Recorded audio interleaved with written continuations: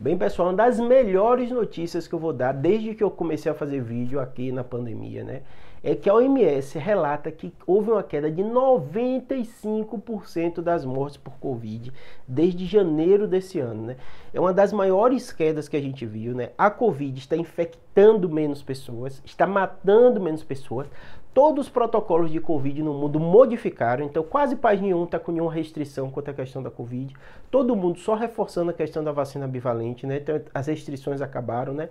A morte também está reduzindo muito as mortes né, no Brasil e no resto do mundo. Né?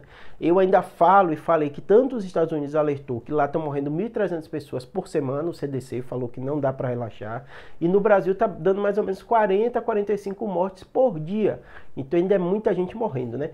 Mas o OMS, quando bota esse panorama global, dá um alívio muito forte, né? Porque a gente está falando de 95% de queda de morte em pouquíssimos meses, de janeiro para cá, quatro meses, né?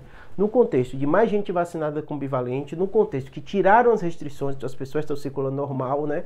É, no contexto que o mundo, né, todo está ainda acompanhando a Covid, mas de forma muito mais lenta do que acompanhava antes. Como assim muito mais lenta, Júnior?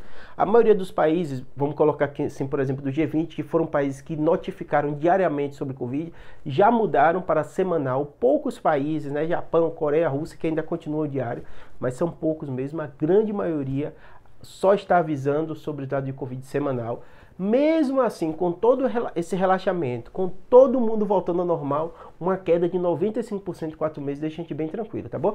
E lembrando, a OMS fazer essa declaração deixa muito claro que agora, provavelmente em maio, na nova reunião, ela vai declarar o fim da pandemia.